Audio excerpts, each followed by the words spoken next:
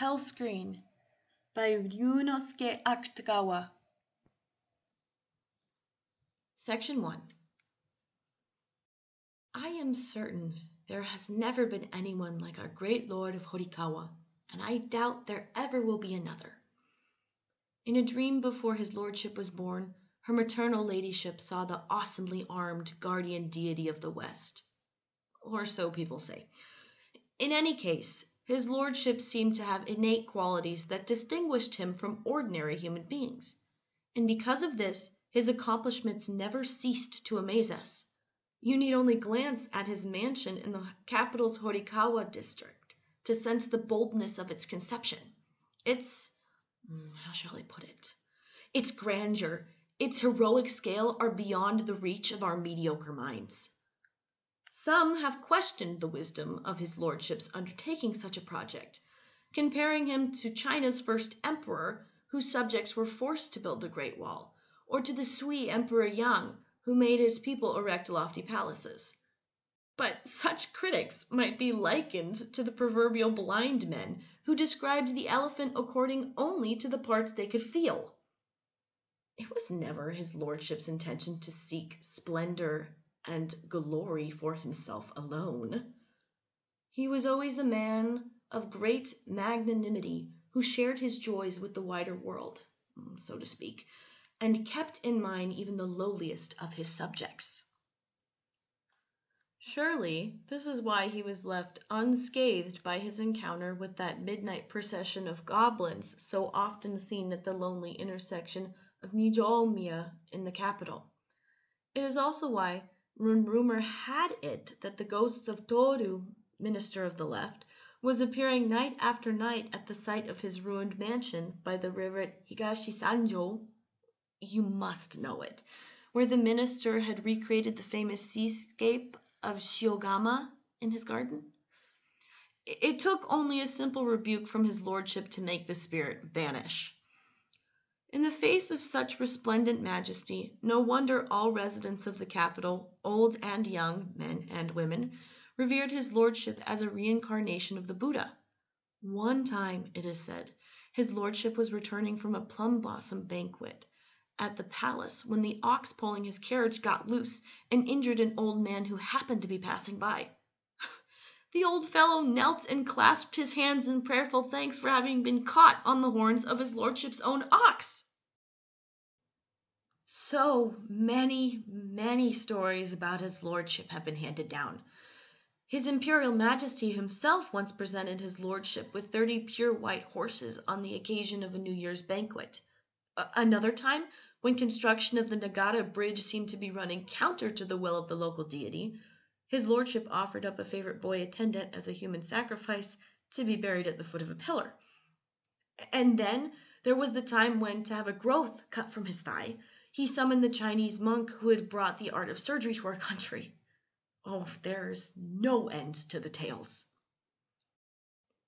For sheer horror, though, none of them measures up to the story of the screen depicting scenes of hell, which is now a prized family heirloom.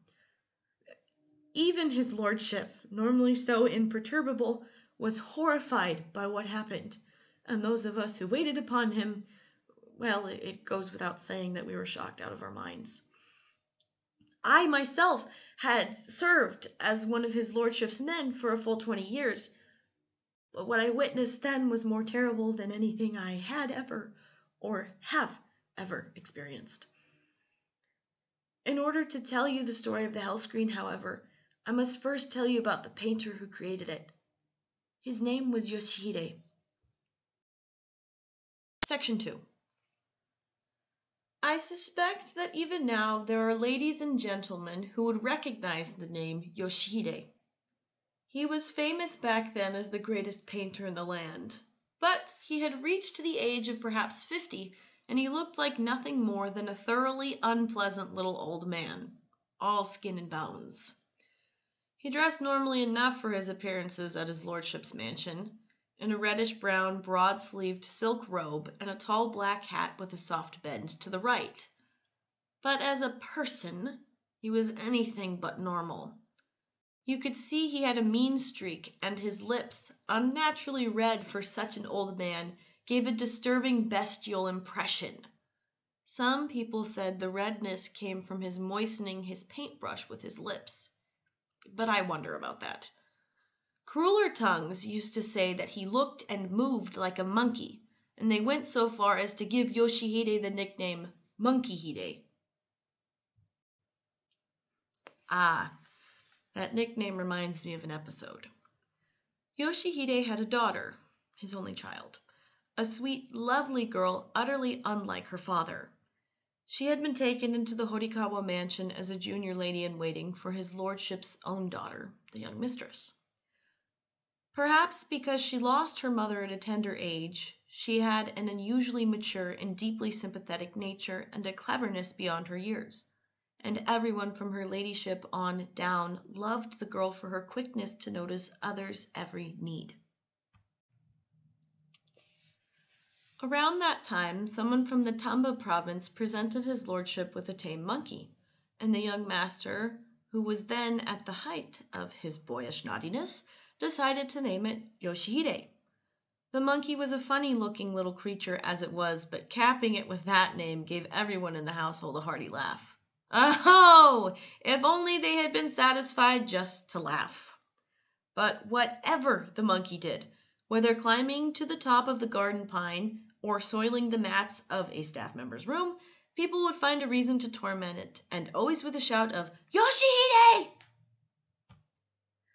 Then, one day, as Yoshihide's daughter was gliding down a long outdoor corridor to deliver a note gaily knotted on a branch of red winter plum, the monkey Yoshihide darted in through the sliding door at the far end in full flight from something.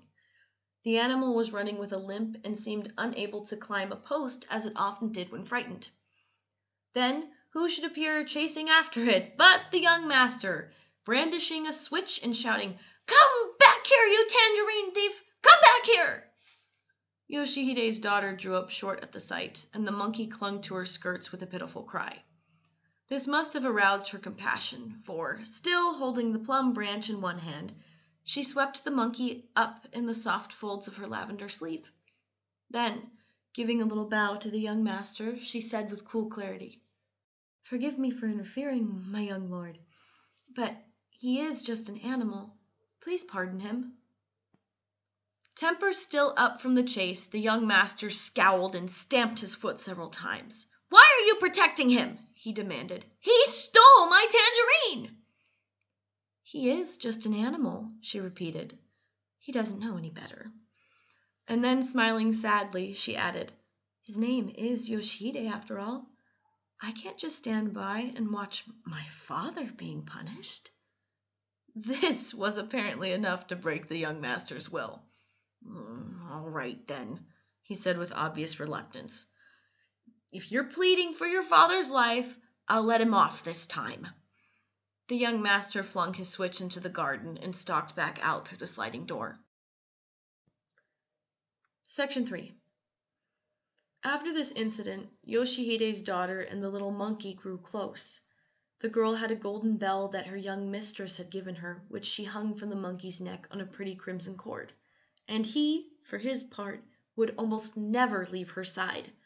Once, when she was in bed with a cold, the monkey spent hours by her pillow, biting its nails, and I swear it had a worried look on its face. Then, strangely enough, people stopped teasing the monkey. In fact, they began treating it with special kindness, until even the young master would occasionally throw it a persimmon or a chestnut. And I heard he once flew into a rage when one of the samurai kicked the animal. Soon after that, his lordship himself ordered the girl to appear before him with the monkey in her arms, all because in hearing about the young master's tantrum, I am told, he naturally also heard about how the girl had come to care for the monkey. I admire your filial behavior, his lordship said. Here, take this. And he presented her with a fine scarlet underrobe they tell me that his lordship was especially pleased when the monkey, imitating the girl's expression of gratitude, bowed low before him, holding the robe aloft. And so, His lordship's partiality for the girl was born entirely from his wish to commend her filial devotion to her father, and not, as rumor had it, from any physical attraction he might have felt for her. Not that such suspicions were entirely groundless, but there will be time for me to tell you about that later. For now, suffice it to say that his lordship was not the sort of person to lavish his affections on the daughter of a mere painter, however beautiful she might be. Well then, having been singled out for praise this way, Yoshihide's daughter withdrew from his lordship's presence. But she knew how to avoid provoking the envy of the household's other less modest ladies in waiting. Indeed, people grew fonder than ever of her and the monkey and the young mistress almost never let them leave her side, even bringing them with her in her ox drawn carriage when she went to observe shrine rituals and the like. But enough about the girl for now. Let me continue with my story of her father, Yoshihide. As I have said, the monkey Yoshihide quickly became everyone's little darling. But Yoshihide himself remained an object of universal scorn, reviled as Monkey Hide by everyone behind his back and not only in the Horikawa mansion. Even such an eminent Buddhist prelate as the abbot of Yokawa hated Yoshihide so much that the very mention of his name was enough to make him turn purple as if he had seen a devil. Some said this was because Yoshihide had drawn a caricature ridiculing certain aspects of the abbot's behavior. But this was merely a rumor that circulated among the lower classes, and as such can hardly be credited. In any case, Yoshihide's reputation was so bad that anyone you asked would have told you the same thing. If there were those who spoke kindly of Yoshihide, they were either a handful of the Brotherhood of Painters or else people who knew his work, but not the man himself. His appearance was not the only thing that people hated about Yoshihide. In fact, he had many evil traits that repelled them even more, and for which he had only himself to blame. Section 4. For one thing, Yoshihide was a terrible miser. He was harsh in his dealings with people, he had no shame, he was lazy and greedy. But worst of all, he was insolent and arrogant. He never let you forget that he was the greatest painter in the land. Nor was his arrogance limited to painting. He could not be satisfied till he displayed his contempt for every custom and convention that ordinary people practiced. A man who was his apprentice for many years once told me this story. Yoshihide was present one day in the mansion of a certain gentleman when the celebrated shamaness of the cypress enclosure was there undergoing spirit possession. The woman delivered a horrifying message from the spirit, but Yoshihide was unimpressed. He took up a handy ink brush and did a detailed sketch of her wild expression as if he viewed spirit possession as mere trickery. No wonder, then, that such a man would commit acts of sacrilege in his work. In painting the lovely goddess Kichijoten, he used the face of a common harlot. And to portray the mighty flame draped Fudo, his model was a criminal released to do chores in the magistrate's office. If you tried to warn him that he was flirting with danger, he would respond with feigned innocence. I'm the one who painted them, after all, he would say. Are you trying to tell me that my own Buddhas and gods are going to punish me? Even his apprentices were shocked by this. I myself knew several of them who, fearing for their own punishment in the afterlife, wasted no time in leaving his employ. The man's arrogance simply knew no bounds. He was convinced that he was the greatest human being under heaven. It goes without saying that Yoshihide lorded it over the other painters of his time. True, his brushwork and colors were utterly different from theirs, and so the many painters with whom he was on bad terms tended to speak of him as a charlatan. They rhapsodized over the work of old masters such as Kawanari or Kanaoka. On moonlit nights you could actually smell the plum blossoms painted on that wooden door, or you could actually hear the courtier on the screen playing his flute. But all they had to say about Yoshihide's work was how eerie and unsettling they found it. Take his five levels of rebirth on the Ryugaiji Temple Gate, for example. When I passed the gate last night, one said, I could hear the dying celestials sighing and sobbing. That's nothing, another claimed. I could smell the flesh of the dead rotting. And how about the portraits of the household's ladies in waiting that his lordship ordered from Yoshihide? Every single woman he painted fell ill and died within three years. It was as if he had snatched their very souls from them. According to one of his harshest critics, this was the final proof that Yoshihide practiced the devil's art. But Yoshihide was so perverse, as I've said, that remarks like this only filled him with pride. When his lordship joked to him one time, For you, it seems the uglier the better. Old Yoshihide's far too red lips spread in an eerie grin, and he replied imperiously, Yes, my lord, it's true. Other painters are such mediocrities, they cannot appreciate the beauty of ugliness. I must say, greatest painter in the land or not, it was incredible that he could spout such self congratulatory nonsense in his lordship's presence. No wonder his apprentices called him Chira Eiju behind his back. You know, Chira Eiju, the long nosed goblin who crossed over from China long ago to spread the sin of arrogance. But still, even Yoshihide, in all his incredible perversity, yes, even Yoshihide displayed human tenderness when it came to one thing. Section 5 by this, I mean that Yoshihide was truly mad about his only daughter, the young lady in waiting. The girl was, as I said before, a wonderfully kind hearted young creature deeply devoted to her father, and his love for her was no less strong than hers for him. I gather that he provided for her every need, every robe, every hair ornament, without the slightest objection. Don't you find this incredible for a man who had never made a single contribution to a temple? Yoshihide's love for his daughter, however, remained just that love. It never occurred to him that he should be trying to find her a good husband some day. Far from it. He was not above hiring street thugs to beat up anyone who might make improper advances to her.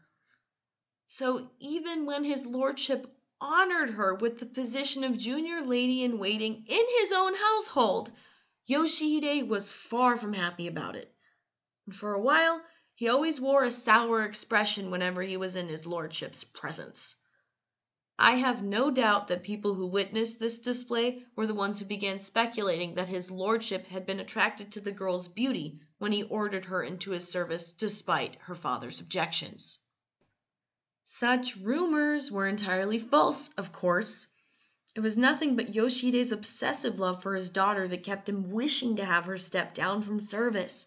That is certain. I remember the time his lordship ordered Yoshihide to do a painting of Monju as a child. And Yoshihide pleased him greatly with a marvelous work that used one of his lordship's own boy favorites as a model. You can have anything you want as your reward said his lordship. Anything at all. Yoshihide should have been awestruck to hear such praise from his lordship's own lips, and he did in fact prostrate himself in thanks before him. But can you imagine what he asked? If it please your lordship, I beg you to return my daughter to her former lowly state. The impudence of the man! This was no ordinary household, after all. No matter how much he loved his daughter, to beg for her release from service in privileged proximity to the great lord of Horikawa himself? Where in the world does one find such audacity? Not even a man as grandly magnanimous as his lordship could help feeling some small annoyance at such a request, as was evident from the way he stared at Yoshihide for a while in silence. Presently he spoke. That will not happen, he said, all but spitting out the words, and he abruptly withdrew. This was not the first nor the last such incident. I think there might have been four or five in all. And with each repetition, it seemed to me, his lordship gazed on Yoshihide with increasing coldness. The girl, for her part, seemed to fear for her father's welfare. Often she could be seen sobbing quietly to herself in her room, teeth clamped on her sleeve. All this only reinforced the rumor that his lordship was enamored of the girl. People also said that the command to paint the screen had something to do with her rejection of his lordship's advances, but that, of course, could not be so. As I see it, it was entirely out of pity for the girl's situation that his lordship refused to let her go. I am certain he believed with great generosity that she would be far better off if he were to keep her in his mansion and enable her to live in comfort than if he sent her back to her hard headed old father. That he was partial to her, of course, there could be no doubt. She was such a sweet tempered young thing. But to assert that he took his lustful pleasure with her is a view that springs from twisted reasoning. No, I would have to call it a groundless falsehood. At any rate, Owing to these matters regarding his daughter, this was a period when Yoshihide was in great disfavor with his lordship. Suddenly one day, for whatever reason, his lordship summoned Yoshihide and ordered him to paint a folding screen portraying scenes from the eight Buddhist hells. Section 6 Oh, that screen! I can almost see its terrifying images of hell before me now. Other artists painted what they called images of hell, but their compositions were nothing like Yoshihide's. He had the ten kings of hell and their minions over in one small corner, and everything else, the entire screen, was enveloped in a firestorm so terrible you thought the swirling flames were going to melt the mountain of sabers and the forest of swords. Aside from the vaguely Chinese costumes of the judges of the dark with their swatches of yellow and indigo, all you saw was the searing color of flames and dancing wildly among them, black smoke clouds of hurled India ink and flying sparks of blown on gold dust. These alone were enough to shock and amaze any viewer. But the sinners writhing in the hellfire of Yoshihide's powerful brush had nothing in common with those to be seen in ordinary pictures of hell. For Yoshihide had included sinners from all stations in life, from the most brilliant luminary of His Majesty's exalted circle to the basest beggar and outcast, a courtier in magnificent ceremonial vestments, a nubile lady in waiting in five layered robes a rosary clutching priest intoning the holy name of Amida, a samurai student on high wooden clogs, an aristocratic little girl in a simple shift, a yin yang diviner swishing his paper wand through the air. I could never name them all. But there they were, human beings of every kind, inundated by smoke and flame, tormented by wardens of hell with their heads of bulls and horses and driven in all directions like autumn leaves scattering before a great wind. Oh, look at that one, you would say. The one with her hair all tangled up in a forked lance and her arms and legs drawn in tighter than a spider's? Could she be one of those shrine maidens who perform for the gods? And oh, that fellow, there, hanging upside down like a bat, his breast pierced by a short lance, Surely he's supposed to be a greenhorn provincial governor. And the kinds of torture were as numberless as the sinners themselves. Flogging with an iron scourge, crushing under a gigantic rock, pecking by a monstrous bird, grinding in the jaws of a poisonous serpent. But surely the single most horrifying image of all was that of a carriage plummeting through space. As it fell, it grazed the upper boughs of a sword tree where clumps of corpses were skewered on fang like branches.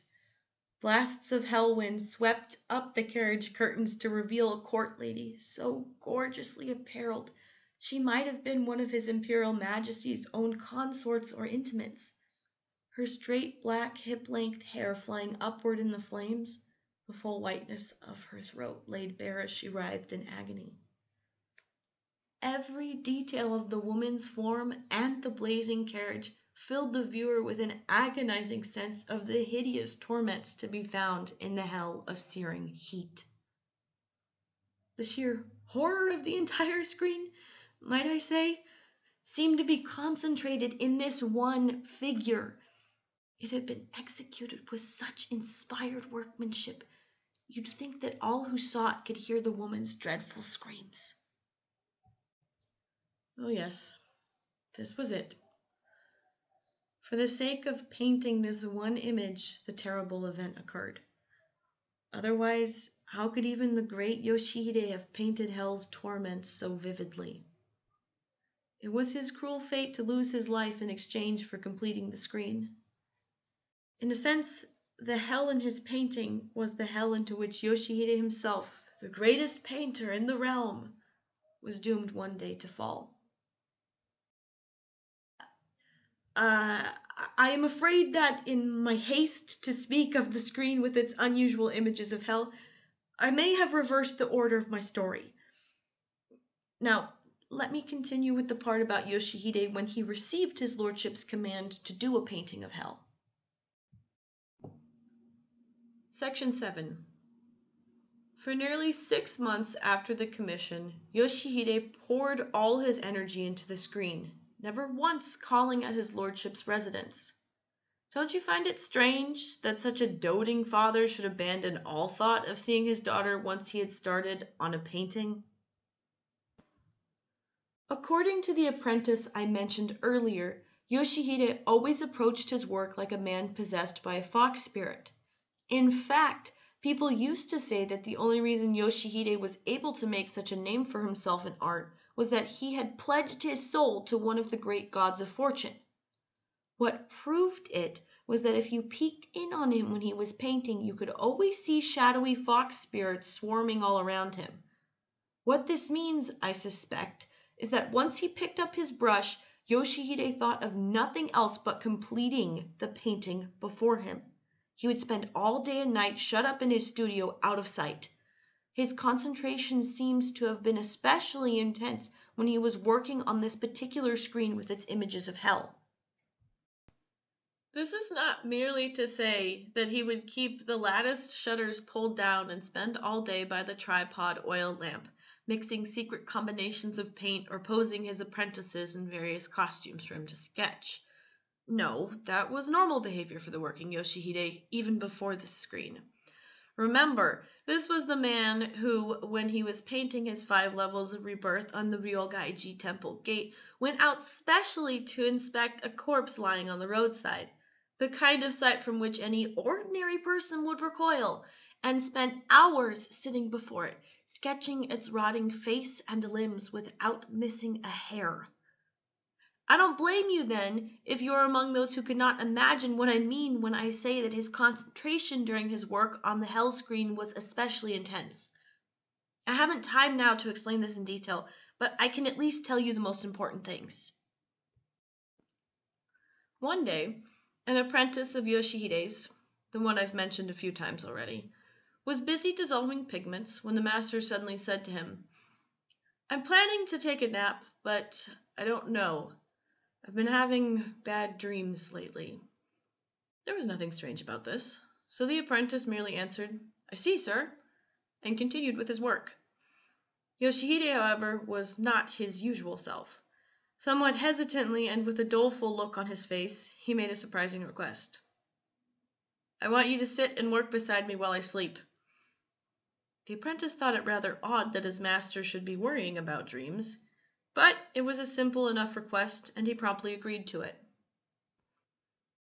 All right, then, Yoshihide said, still looking worried. Come inside right away. He hesitated, and when the other apprentices arrive, he added. Don't let any of them in where I am sleeping. Inside meant the room where the master actually did his painting, and as usual on this day, the apprentice told me, its doors and windows were shut as tightly as at night. In the dull glow of an oil lamp stood the large folding screen, its panels arranged in a semicircle and still only sketched out in charcoal. Yoshihide lay down with his head pillowed on his forearm and slipped into the deep sleep of an utterly exhausted man. Hardly any time had gone by, however, when the apprentice began to hear a sound that he had no way of describing. It was a voice, he told me, but a strange and eerie one. Section 8 At first it was just a sound, but soon, in snatches, the voice began to form words that came to him as if from under water, like the muffled cries of a drowning man. What? The voice said. You want me to come with you? Where? Where are you taking me? To hell, you say? To the hell of searing heat, you say? Who? Who are you, damn you? Who could you be but? The apprentice, dissolving pigments, felt his hands stop of their own accord. He peered fearfully through the gloom at his master's face. Not only had the furrowed skin gone stark white, but fat beads of sweat oozed from it, and the dry lipped, snaggle toothed mouth strained wide open as if gasping for breath. The youth saw something moving in his master's mouth with dizzying speed, like an object being yanked by a cord, but then, imagine! he realized the thing was Yoshihide's tongue. The fragmented speech had been coming from that tongue of his. Who could it be but you, damn you? It is you. I thought so. What's that? You've come to show me the way there. You want me to follow you to hell. My daughter is waiting for me in hell. The apprentice told me that an uncanny feeling overcame him at that point. His eyes seemed to make out vague, misshapen shadows that slid over the surface of the screen and flooded down upon the two of them. Naturally, he immediately reached over and shook Yoshihide as hard as he could, but rather than waking, the master, in a dreamlike state, went on talking to himself and showed no sign of regaining consciousness. Desperate now, the apprentice grabbed the jar for washing brushes and splashed all the water into Yoshihide's face. I'm waiting for you, Yoshihide was saying. So hurry and get into the cart. Come along to hell. But the moment the water hit him, his words turned to a strangled moan. At last he opened his eyes, and he sprang up more wildly than if he had been jabbed with a needle. But the misshapen creatures must have been with him still, for he stared into space, with mouth agape and with terrified eyes. At length he returned to himself, and, without a hint of gratitude, barked at the poor apprentice. "I'm all right now. Get out of here." The apprentice knew he would be scolded if he resisted his master at a time like this, so he hurried out of the room. But he told me that when he saw the sunlight again he felt as relieved as if he were waking from his own nightmare. This was by no means Yoshihide at his worst, however. A month later he called yet another apprentice into the inner room. The young man found Yoshihide standing in the gloom of the oil lamps, biting at the end of his paintbrush. Without a moment's hesitation, Yoshihide turned to him and said, Sorry, but I need you naked again. The master had ordered such things in the past, so the apprentice quickly stripped off his clothes. But now Yoshihide said with a strange scowl, I want to see a person in chains, so do what I tell you. Sorry about this, but it will just take a little while. Yoshihide could mouth apologetic phrases, but he issued his cold commands without the least show of sympathy. This particular apprentice was a well built lad who looked more suited to wielding a sword than a paintbrush, but even he must have been shocked by what happened. I figured the master had gone crazy and was going to kill me, he told people again and again long afterward. Yoshihide was apparently annoyed by the young man's slow preparations. Instead of waiting, he dragged out a narrow iron chain from heaven knows where and all but pounced on the apprentice's back, wrenching the man's arms behind him and winding him in the chain. Then he gave the end of the chain a cruel yank and set the young man crashing down on the floor. Section 9 The apprentice lay there like. what? Um, like a keg of sake that someone had knocked over. Legs and arms mercilessly contorted, he could move only his head.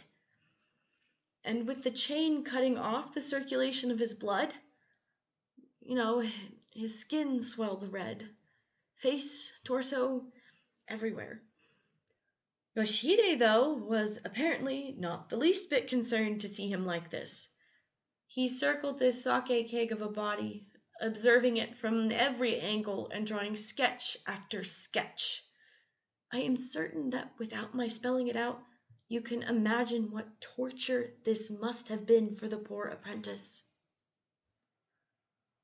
If nothing had interrupted it, the young man's ordeal would almost surely have lasted even longer. But fortunately, or perhaps unfortunately, a narrow, winding streak like black oil began to flow from behind a large jar in the corner of the room. At first it moved slowly, like a thick liquid, but then it began to slide along the floor more smoothly, glinting in the darkness until it was almost touching the apprentice's nose. He took a good look at it, gasped, and screamed, "A snake! A snake!" The way he described the moment to me, he felt as if every drop of blood in his body would freeze. Which I can well understand, for in fact the snake's cold tongue was just about to touch the flesh of his neck where the chain was biting. Even Yoshihide, for all his perversity, must have felt a rush of horror at this unforeseeable occurrence. Flinging his brush down, he bent and gripped the snake by the tail, dangling it upside down. The snake raised its head and began to coil upward around its own body, but it could not reach Yoshihide's hand. Mm, you cost me a good brushstroke, damn you! he growled at the snake, flinging it into the jar in the corner. Then, with obvious reluctance, he loosened the chains that bound the apprentice's body. In fact, loosening the chains was as far as he was willing to go. For the youth himself he spared not a word of sympathy. I suspect he was more enraged at having botched a single brush stroke than concerned that his apprentice might have been bitten by a snake. I heard afterward that he had been keeping the snake to sketch from. I imagine that what little you have heard is enough for you to grasp the fanatic intensity with which Yoshihide approached his work. But let me give you one last terrible example concerning a young apprentice, no more than thirteen or fourteen, who could have lost his life for the hell screen. It happened one night when the boy, whose skin was fair as a girl's, was called into the master's studio. There he found Yoshihide by the tripod lamp balancing a piece of raw meat on his palm and feeding it to a bird, the likes of which he had never seen before.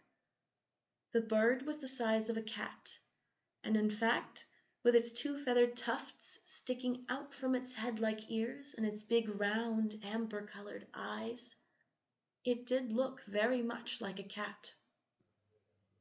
Section 10 Yoshihide was a man who simply hated to have anyone pry into his business, and the snake I told you about was one such case. He would never let his apprentices know what kinds of things he had in his studio.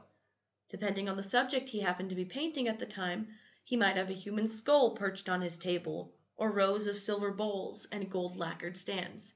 You never knew and his helpers told me they had no idea where he kept such things when he was not using them. This was surely one reason for the rumor that Yoshihide was the beneficiary of miraculous aid from a god of fortune. Well, then, the young apprentice, assuming for himself that the strange bird on the table was the model Yoshihide needed for the hell screen, knelt before the painter and asked in all humility, How can I help you, master? Almost as if he had not heard the boy speak, Yoshihide licked his red lips and jerked his chin toward the bird. Not bad, eh? Look how tame it is. Please tell me, master, what is it? I've never seen anything like it before, the boy said, keeping his wary gaze fixed on the cat like bird with ears. What? Never seen anything like it? Yoshihide responded with his familiar scornful laugh. That's what you get for growing up in the capital. It's a bird, a horned owl. A hunter brought it to me a few days ago from Mount Kurama. Only you don't usually find them so tame. As he spoke, Yoshihide slowly raised his hand and gave a soft upward stroke to the feathers of the owl's back, just as the bird finished swallowing the chunk of meat. Instantly the bird emitted a shriek and leaped from the table top, aiming its outstretched talons at the apprentice's face. Had the boy not shot his arm out to protect himself, I have no doubt that he would have ended up with more than a gash or two on his face. He cried out and shook his sleeve in an attempt to sweep the bird away, which only added to the fury of the attack. Beak clattering, the owl lunged at him again. Disregarding Yoshihide's presence, the apprentice ran wildly around the cramped room, now standing to defend himself, now crouching to drive the bird away. The monster of course stuck with him, flying up when he stood up and down when he crouched down, and using any opening to go straight for his eyes. With each lunge came a tremendous flapping of wings that filled the boy with dread. He felt so lost, he said later, that the familiar studio felt like a haunted valley deep in the mountains, with the smell of rotting leaves, the spray of a waterfall, the sour fumes of fruit stashed away by a monkey. Even the dim glow of the master's oil lamp on its tripod looked to him like misty moonlight in the hills. Being attacked by the owl, however, was not what most frightened the lad. What really made his flesh crawl was the way the master Yoshihide followed the commotion with his cold stare, taking his time to spread out a piece of paper, lick his brush, and then set about capturing the terrible image of a delicate boy being tormented by a hideous bird. At the sight, the apprentice was overcome by an inexpressible terror. For a time, he says, he even thought his master might kill him. Section 11. And you actually couldn't say that such a thing was out of the question. For it did seem that Yoshihide's sole purpose in calling the apprentice to his studio that night had been to set the owl on him and draw him trying to escape. Thus, when the apprentice caught that glimpse of his master at work, he felt his arms come up to protect his head and heard an incoherent scream escape his throat as he slumped down against the sliding door in the corner of the room. In that same instant, Yoshihide himself cried out and jumped to his feet whereupon the beating of the owl's wings grew faster and louder, and there came the clatter of something falling over and a tearing sound. Having covered his head in terror, the apprentice now raised it again to find that the room had gone pitch dark, and he heard Yoshihide's angry voice calling to the other apprentices.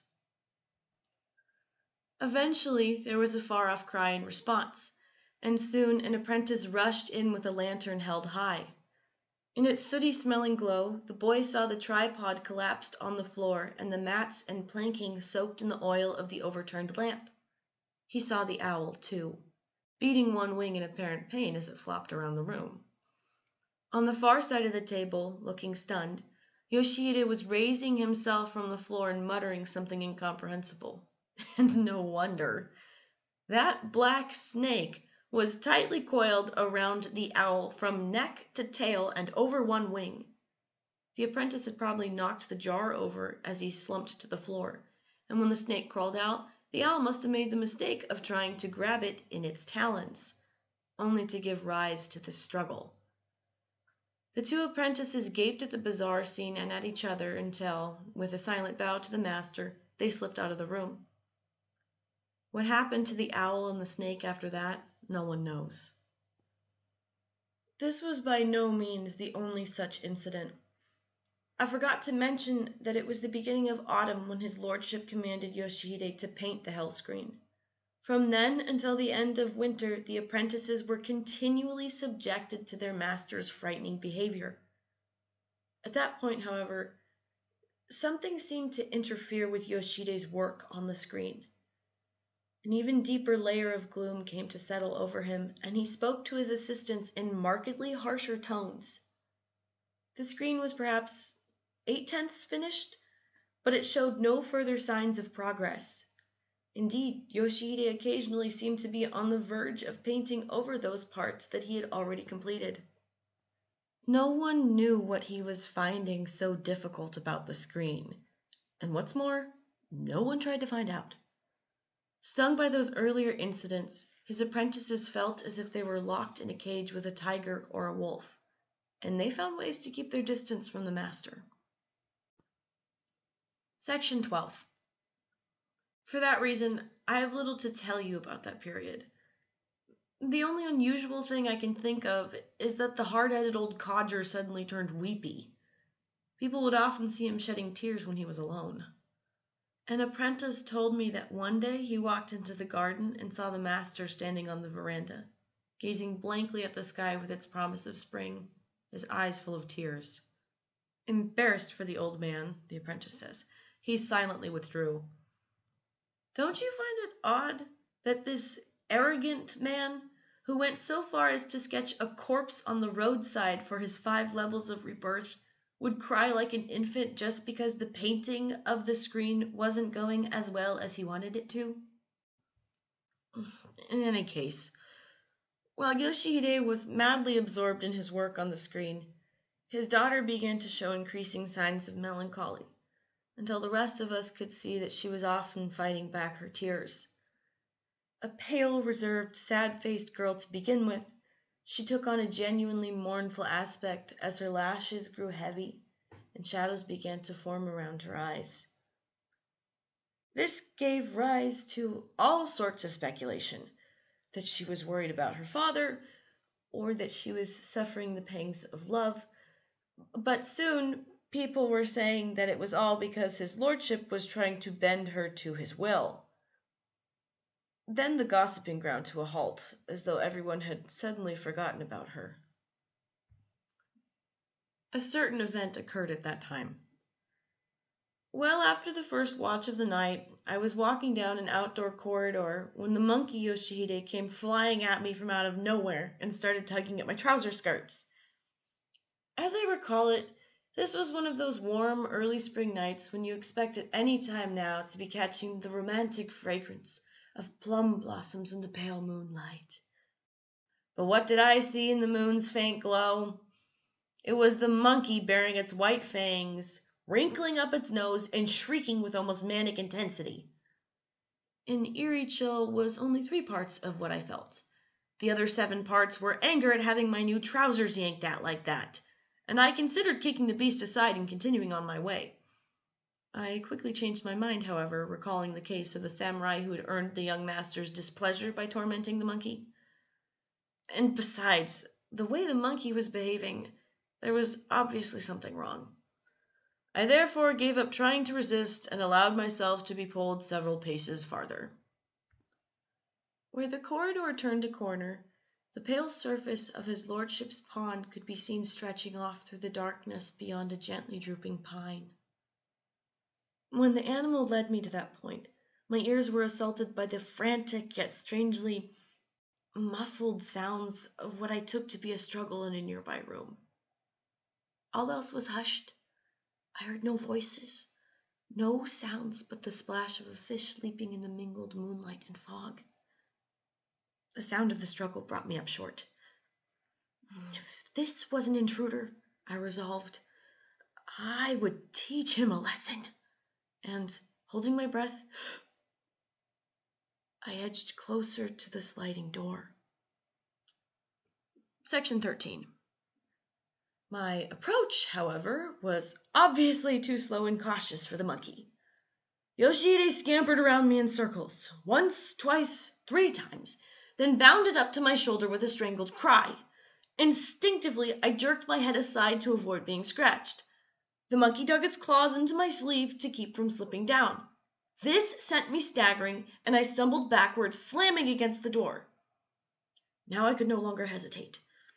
I shot the door open and crouched to spring in beyond the moonlight's edge. At that very moment, something rose up to block my view. With a start, I realized it was a woman. She flew toward me as if someone had flung her out of the room. She nearly hit me, but instead she tumbled forward and why, I could not tell went down on one knee before me, trembling and breathless, and staring up at me as if at some terrifying sight. I am sure I need not tell you it was Yoshihide's daughter. That night, however, my eyes beheld her with a new vividness, as though she were an utterly different person. Her eyes were huge and shining, and her cheeks seemed to be burning red. Her disheveled clothes gave her an erotic allure that contrasted sharply with her usual childish innocence. Could this actually be the daughter of Yoshihide? I wondered. That frail looking girl, so modest and self effacing in all things.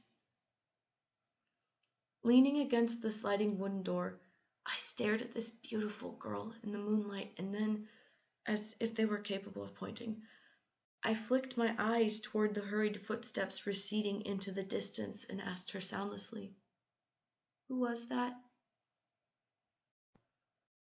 The girl bit her lip and shook her head in silence.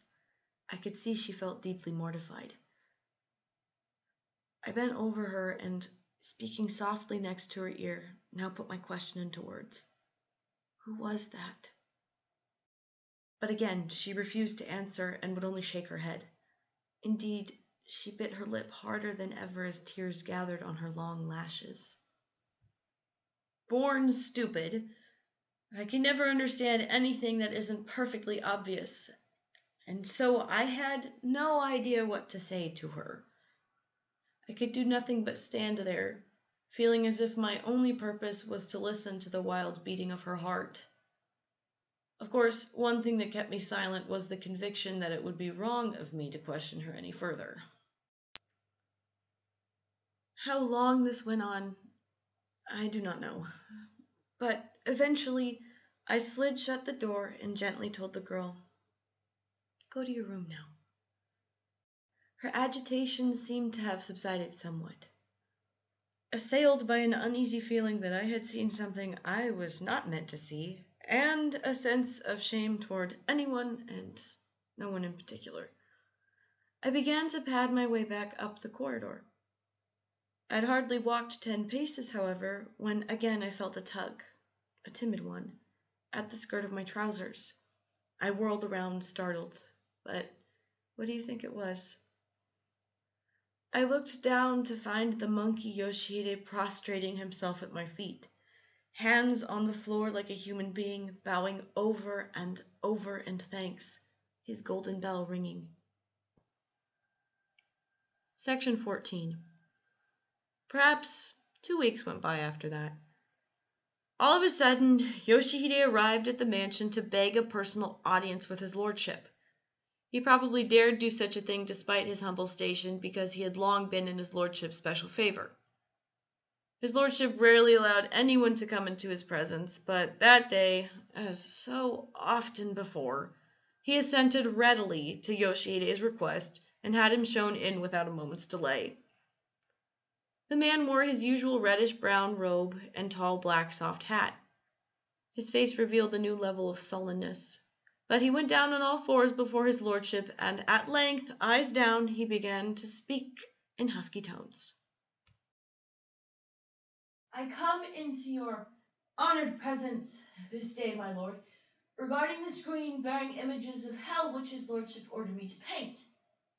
I have applied myself to it day and night, outdone myself, such that my efforts have begun to bear fruit, and it is largely finished. This is excellent news. I am very pleased. Even as his lordship spoke these words, however, his voice seemed oddly lacking in power and vitality. No, my lord. I am afraid the news is anything but excellent. Said Yoshihide, his eyes still fastened on the floor in a way that hinted at anger. The work may be largely finished, but there is still a part that I am unable to paint. What? Unable to paint? Indeed, sir. As a rule, I can only paint what I have seen. Or even if I succeed in painting something unknown to me, I myself cannot be satisfied with it. This is the same as not being able to paint it. Does his lordship not agree? As his lordship listened to Yoshihide's words, his face gradually took on a mocking smile. Which would mean that if you wanted to paint a screen depicting hell, you would have to have seen hell itself. Exactly, my lord. In the great fire some years ago, though, I saw flames with my own eyes that I could use for those of the hell of searing heat. In fact, I succeeded with my fudo of twisting flames only because I experienced that fire. I believe my lord is familiar with the painting. What about sinners, though? And hell wardens? You've never seen those, have you? His lordship challenged Yoshihide with one question after another as though he had not heard Yoshihide's words. I have seen a person bound in iron chains, said Yoshihide. And I have done a detailed sketch of someone being tormented by a monstrous bird. No, I think it cannot be said that I have never seen sinners being tortured. And as for hell wardens, said Yoshihide, breaking into an eerie smile. My eyes have beheld them any number of times as I drift between sleeping and waking. The bull-headed ones, the horse-headed ones, the three-faced, six-armed devils. Almost every night they come to torture me with their soundless clapping hands, their voiceless gaping mouths. No, they are not the ones I'm having so much difficulty painting.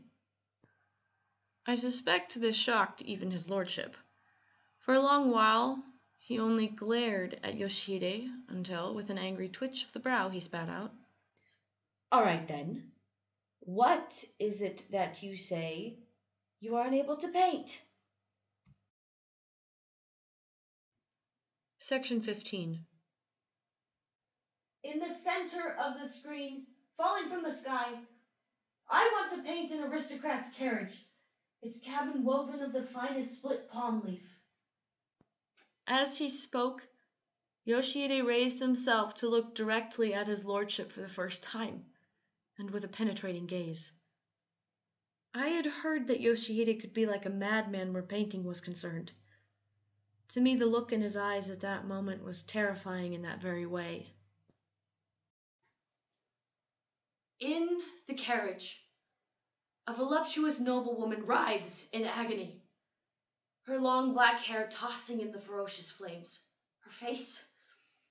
Well, perhaps she contorts her brows and casts her gaze skyward toward the ceiling of the cabin as she chokes on the rising clouds of smoke.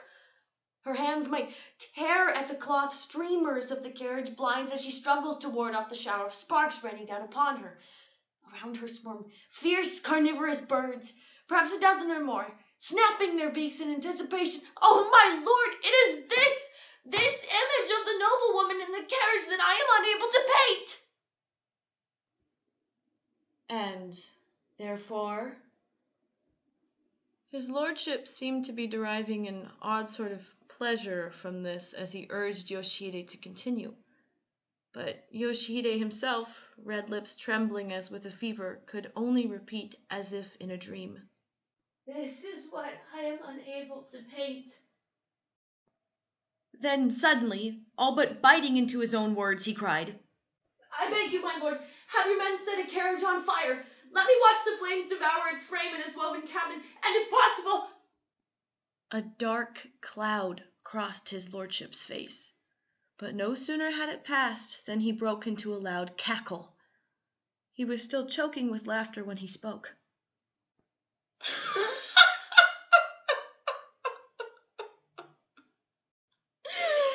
Possible? I'll do whatever you want. Don't waste time worrying about what is possible. His lordship's words filled me with a terrible foreboding. And in fact, his appearance at that moment was anything but ordinary. White foam gathered at the corners of his mouth. His eyebrows convulsed into jagged bolts of lightning. It was as if his lordship himself had become infused with Yoshihide's madness. And no sooner had he finished speaking than laughter, endless laughter, exploded from his throat once again.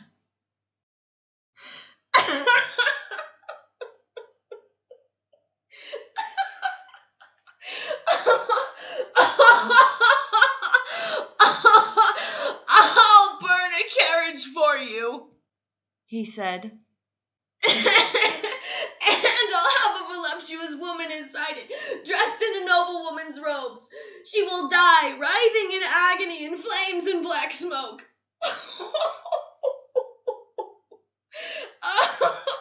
I have to salute you, Yoshihide. Who could have thought of such a thing but the greatest painter in the land? Yoshihide went pale when he heard this, and for a time the only part of him that moved was his lips. He seemed to be gasping for breath. Then, as though all the muscles of his body had gone limp at once, he crumpled forward with his hands on the matted floor again.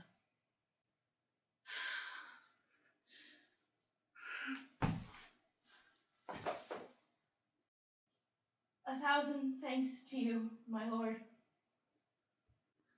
Yoshihide said with rare humility, his voice barely audible.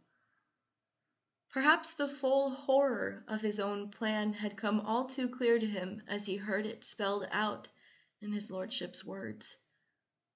Only this one time in my life did I ever think of Yoshihide as a man to be pitied.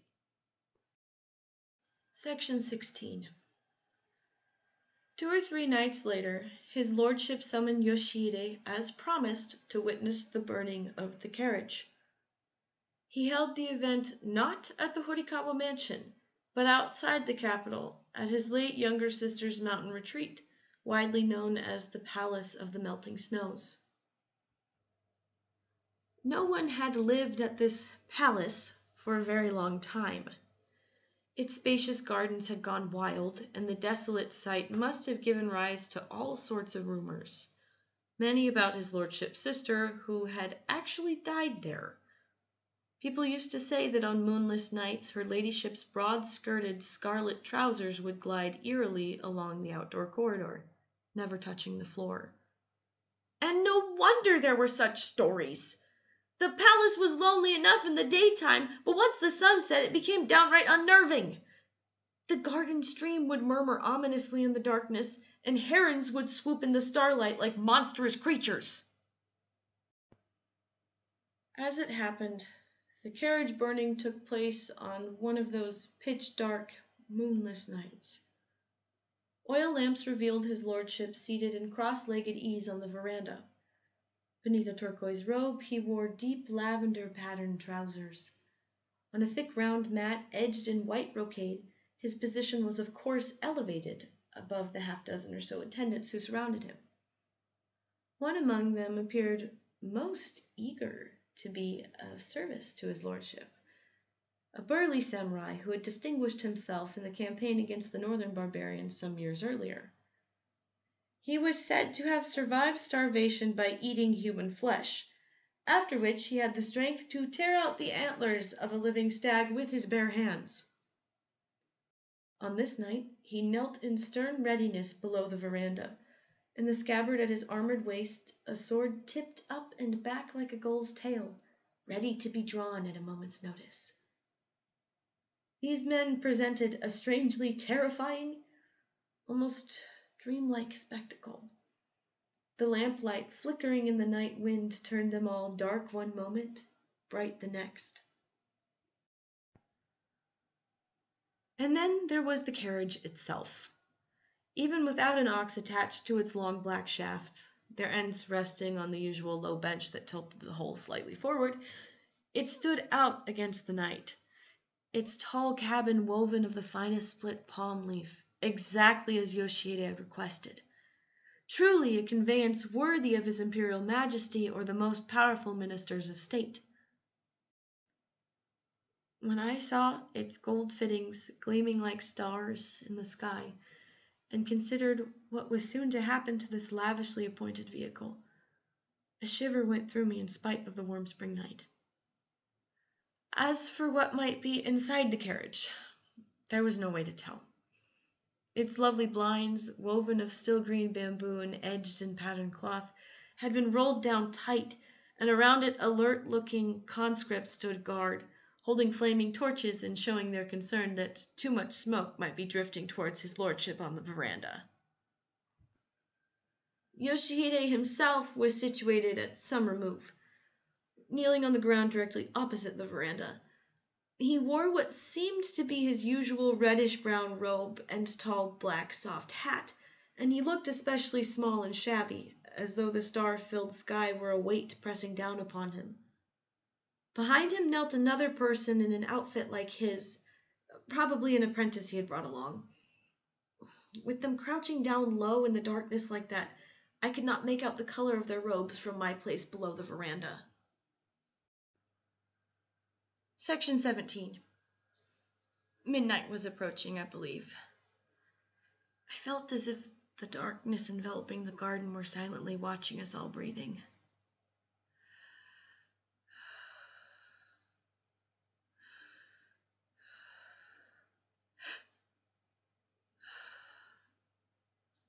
the only sound an occasional rush of the night wind.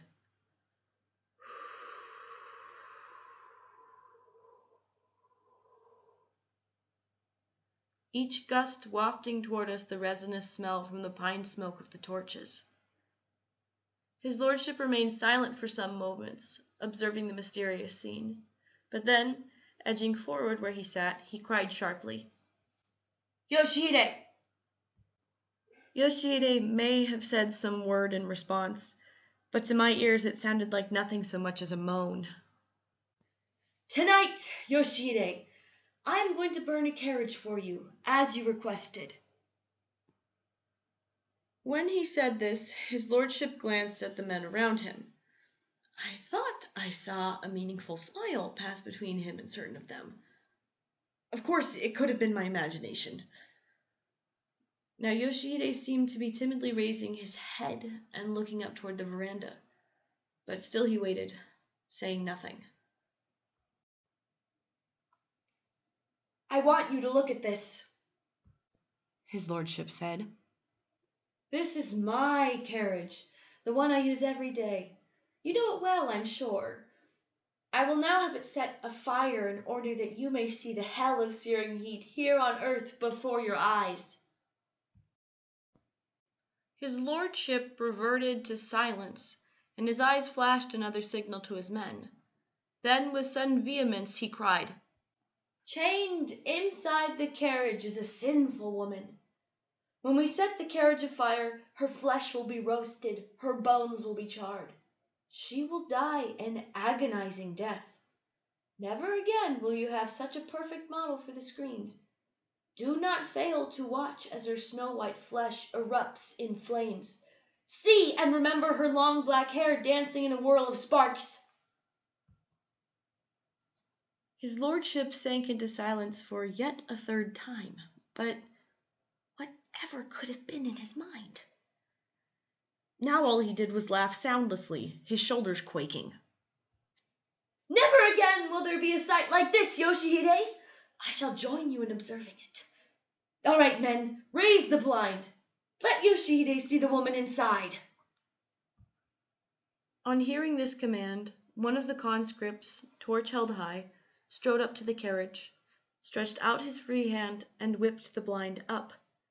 The torch crackled and flickered and cast a red gleam inside. On the carriage's matted floor, cruelly chained, sat a woman. And oh, who could have failed to recognize her? Her long black hair flowed in a voluptuous band across a gorgeous robe embroidered in cherry blossoms, and the golden hairpins on top of her downcast head sparkled beautifully in the firelight. For all the differences in costuming, there was no mistaking that girlish frame, that graceful neck, where now a gag was fastened, that touchingly modest profile. They belonged to none other than Yoshihide's daughter. I could hardly keep from crying out. Just then the samurai kneeling across from me sprang to his feet, and pressing threateningly on his sword hilt, glared at Yoshihide. Startled by the sudden movement, I turned my gaze toward Yoshihide. He looked as if this spectacle were driving him half mad. Where he'd been crouching until then, he was on his feet now and poised, arms outstretched, to run toward the carriage. Unfortunately, though, as I said before, he was in the shadows far away from me, and so I did not have a clear view of his face. My frustration lasted but a moment, however. Now drained of color though it was, Yoshihide's face, or should I say, Yoshihide's entire form, raised aloft by some invisible power, appeared before me with such clarity it seemed to have cut its way through the surrounding darkness. For suddenly his lordship had cried, Burn it! The conscripts flung their torches, and the carriage, with Yoshihide's daughter inside, burst into flame. Section 18 The fire engulfed the entire carriage. The purple roof tassels blew aside, and clouds of smoke swirled aloft, stark white against the blackness of the night and finally a shower of sparks spurted upward with such terrifying force that in a single instant the blinds, the side panels, and the roof's metal fittings were ripped off in the blast and sent flying. Still more horrible was the color of the flames that licked the latticed cabin vents before shooting skyward as though, might I say, the sun itself had crashed to earth, spewing its heavenly fire in all directions. As close as I had come to crying out before, now I could only gape in mute awe at the horrifying spectacle. But what of the girl's father? I will never forget the look on Yoshihide's face at that moment. He had started toward the carriage on impulse, but halted when the flames flared up. He then stood there with arms outstretched, eyes devouring the smoke and flames that enveloped the carriage. In the firelight that bathed him from head to toe, I could see every feature of his ugly, wrinkled face his wide staring eyes, his contorted lips, the twitching flesh of his cheeks all drew a vivid picture of the shock, the terror, and the sorrow that traversed Yoshihide's heart by turns. Such anguish, I suspect, would not be seen even on the face of a convicted thief about to have his head cut off or the guiltiest sinner about to face the judgment of the ten kings of hell. Even the powerful samurai went pale at the sight and stole a fearful glance at his lordship above him. But what of his lordship himself? Biting his lip and smiling strangely now and then, he stared straight ahead, never taking his eyes off the carriage. And the girl in the carriage? I don't think I have the courage to describe in detail what she looked like then. The pale whiteness of her upturned face as she choked on the smoke, the tangled length of her hair as she tried to shake the flames from it, the beauty of her cherry blossom robe as it burst into flame. It was all so cruel, so terrible. Especially at one point when the night wind rushed down from the mountain to sweep away the smoke. The sight of her against a flaming background of red flecked with gold dust, gnawing at her gag, writhing as if to snap the chains that bound her, it was enough to make our flesh creep. Not only mine, but the powerful samurai's as well. As if the tortures of hell were being pictured right there before our eyes. Just then the night wind gusted once more, rustling the branches of the garden's trees, or so it seemed to me, and I am sure to everyone else. Such a sound seemed to race through the dark sky, and in that instant some black thing shot from the palace roof into the blazing carriage. It traveled in a perfectly straight line like a ball that has been kicked, neither touching the earth nor arcing through space. And as the carriage's burning side lattices collapsed inward, glowing as if coated in crimson lacquer, the thing grasped the girl's straining shoulders and hurled a long, piercing, and inexpressibly anguished scream out beyond the billowing smoke. Another scream followed, and then a third, until we all found ourselves crying out with it. For though it had been left tethered back at the Horikawa mansion, what we saw now clinging to the girl's shoulders against the flaming backdrop was the monkey Yoshihide. Section 19 We could see the monkey for only the briefest moment, though. A fountain of sparks shot up to the sky like gold dust and black lacquer, and then not only the monkey but the girl too was shrouded in black smoke. Now in the middle of the garden there was only a carriage of fire seething in flames with a terrible roar. No, pillar of fire might better describe this horrific conflagration boiling up to the starry heavens. But oh, how strange it was to see the painter now, standing absolutely rigid before the pillar of fire. Yoshihide, only a few moments earlier had seemed to be suffering the torments of hell, stood there with his arms locked across his chest as if he had forgotten even the presence of his lordship, his whole wrinkled face suffused now with an inexpressible radiance the radiance of religious ecstasy. I could have sworn that the man's eyes were no longer watching his daughter dying in agony, that instead the gorgeous colors of flames and the sight of a woman suffering in them were giving him joy beyond measure. The most wondrous thing was not that he watched his only daughter's death throes with apparent joy but rather that Yoshihide at that moment possessed a strange, inhuman majesty that resembled the rage of the king of beasts himself, as you might see him in a dream. For this reason, although I might have been imagining it, the countless night birds that flew around us squawking in alarm at each new eruption of flames seemed to keep their distance from Yoshihide's tall black hat. Perhaps even these insentient birds could see the mysterious grandeur that hung above Yoshihide like a radiant aura. If the birds could see it, how much more so the rest of us, down to the lowly conscripts. Trembling inwardly, scarcely breathing, and filled with a bizarre sense of adoration, we kept our eyes fastened on Yoshihide as if we were present at the decisive moment when a lump of stone or wood becomes a holy image of the Buddha. The carriage flames that filled the heavens with a roar. Yoshihide under the spell of the flames, transfixed. What sublimity! What rapture! But among us, only one, his lordship, looked on as if transformed into another person his noble countenance drained of color, the corners of his mouth flecked with foam, hands clutching his knees through his lavender trousers as he panted like a beast in need of water. Section 20 Word soon spread that his lordship had burned the carriage that night in the Palace of the Melting Snows, and there seemed to have been many who were highly critical of the event. First of all came the question of Yoshihide's daughter. Why had his lordship chosen to burn her alive? The rumor most often heard was that he had done it out of spite for her rejection of his love. I am certain, however, that he did it to punish the twisted personality of an artist who would go so far as to burn a carriage and kill a human being to complete the painting of a screen. In fact, I overheard his lordship saying as much himself.